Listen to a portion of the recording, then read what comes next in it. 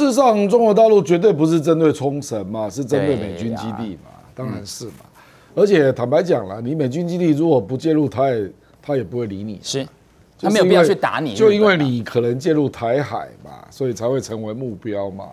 那中国大陆如果判断你要介入台海，他当然就会做源头打击嘛。嗯所以冲绳就会变成攻击对象。对因为冲绳完全是平的啦，无险可守了。，OK，哦，不管是加手那、普天间都一样。嗯啊，而且我们都知道二战冲绳死了多少人嘛，是所以当地的老百姓是很有感的啦。啊，所以当然他并入日本之后啦，日本政府是有给他一些经济上的补助啦。嗯嗯嗯。可是你把我这里弄成了军事要地，然后大家都陷入一种这个战争恐慌之中对哦。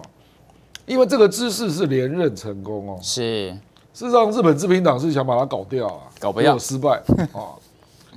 所以我觉得他也蛮有政治智慧的啦，就是基本上他这次会见到习近平啊，是。啊，而且他也看到了习近平在那个中国版本馆那个说法。在那，边讲到了那个福建福州的移民嘛，对。说有三十六姓啊，对。那移民到琉球嘛，啊。是，而且这个琉球，琉球本来这跟中国历史是密切相关的啦。对呀，你如果讲六百年，那就明朝了嘛。嗯嗯，啊，这也是事实啊啊！当年，当年琉球是被日本占领的。琉球王国那照理讲，日本败败战之后，琉球应该要回到中国的怀抱才对啊。对啊，是啊，论法律是这样，对，，结果那个时候当然就是因为中国国民政府没有海军嘛，嗯，所以就在要求冲绳回归，那个实际上叫琉球了啊。嗯，我认为内部产生不同意见嘛，对。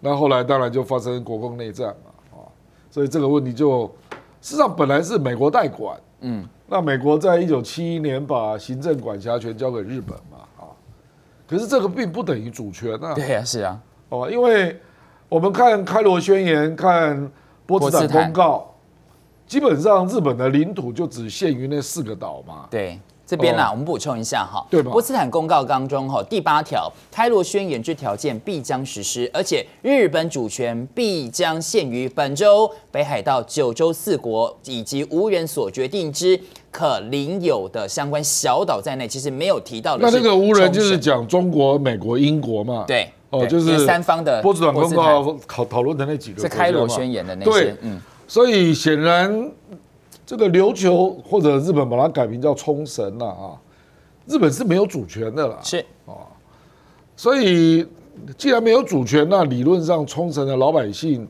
就有自觉的权利嘛，他实际上可以发起公投了啊。那独立公投当然，我们当然知道了，这个冲绳目前独立运动的力量并不大了，嗯，可是至少民选的领袖，你日本要尊重嘛。对，所以我觉得习近平打这张牌是蛮聪明的啦。啊，就说你日本啊，如果整天到晚那边吵台湾问题啊，那我就来跟你吵琉球问题了。是也是有招的啊，当然呢，因为琉球这个地方，因为美国已经把百分之七十的基地都放在琉球、冲绳嘛啊，那这样搞下去的结果，就会使得美军或日本自卫队要在冲绳设置军事基地，会失去正当性啊。对啊对，因为当地的老百姓都反对，那你又没有我的主权，嗯。你只是得到行政管辖权，嗯。那请问你设基地，你有经过我的同意吗？没有嘛？那你还放了七十 percent 都在这，是啊，所以 搞不好就会因为这一个事情，然后衍生出来说，啊不然我们来公投啊，嗯，看我们要不要让你设基地啊？对。我觉得中方的谋略就在这个地方了啊。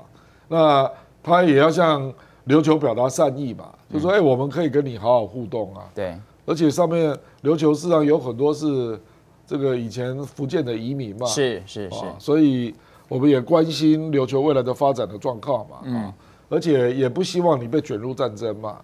其实这些立场啊，因为我就看到那个玉成丹尼听到习近平在那个版本馆讲的话，对对。他直接呼应了、他说习习习主席讲的真好，你知道吧？是，所以日本人就听听了大概昏头了脸都发黑了，就大概是这样。对啊，的确哈，如果说真的要论法的话，日本你的确有可能站不住脚的。另外再来看到中国大陆也有这个底气啊，因为如果真的台湾有事、日本有事的话，第一个。一定是冲绳，因为你有美军基地啊。尤其最近啊，呃，中国大陆哈，六月二十九号到三十号，零七五两栖舰呢，哈，这个广西好，他怎样就通过了。这个啊，琉球群岛进入到西太平洋嘛，意思它就是有这个能力哈。其实对于这个日本啊，这些有一些威者的做法。好，那刚刚亮哥一直提到就是哈，习近平主席他在考察中国国家版本馆的时候，就提到当时独立的琉球王国，就现在被改成冲绳的跟福建的历史。他说啊，我在福州工作时候就知道福州有琉球馆、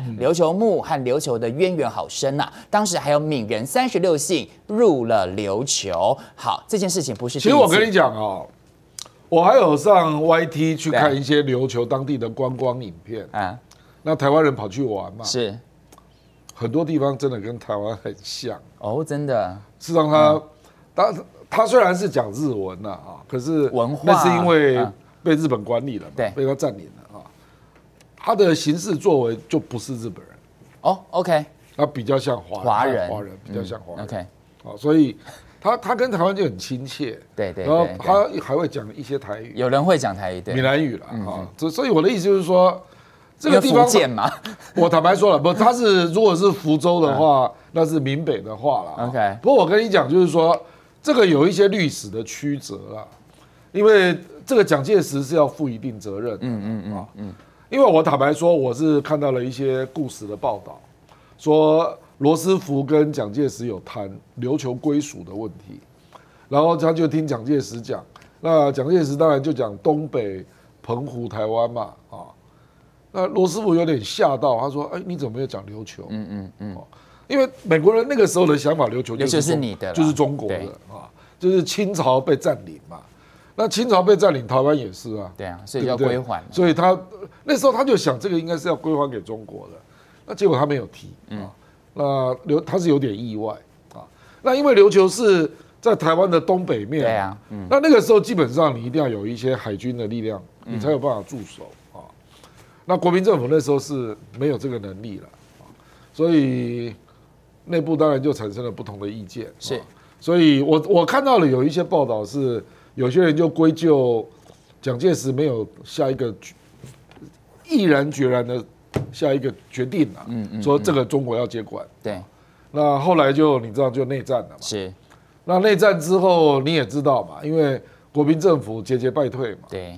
那有一些人就也想要得到日本的协助，就变成这样。OK，所以就复杂了。是复杂了哈。那历史一拖之后呢，现在中国大陆哈又让大家唤起了，哎，这个琉球这个它的主权。嘿，其实呢，日本不见得拥有它的主权哦。哈，尤其是这不是第一波啊。最近啊，因为习主席再讲是这一次的话，引发讨论。在二零一三年的时候，《人民日报》的社论也有提到，这个就是发生在钓鱼岛国有化的时候。是。那个时候，事实上发生过两次，还有一次是保钓。OK，那保钓那个时候呢，因为中国大陆刚好要跟日本建交，哦，就有点，所以他也不好提出这个议题啊。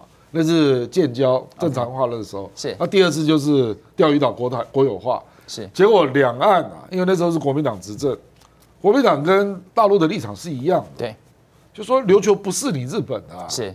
哦，那所以所以他就是从。钓鱼岛的问题就扯到了琉球的归属。嗯，对，所以呢，你看，哎，刚刚亮哥特别说，习近平主席很聪明啊，这个时候提到了琉球，这是一张好牌。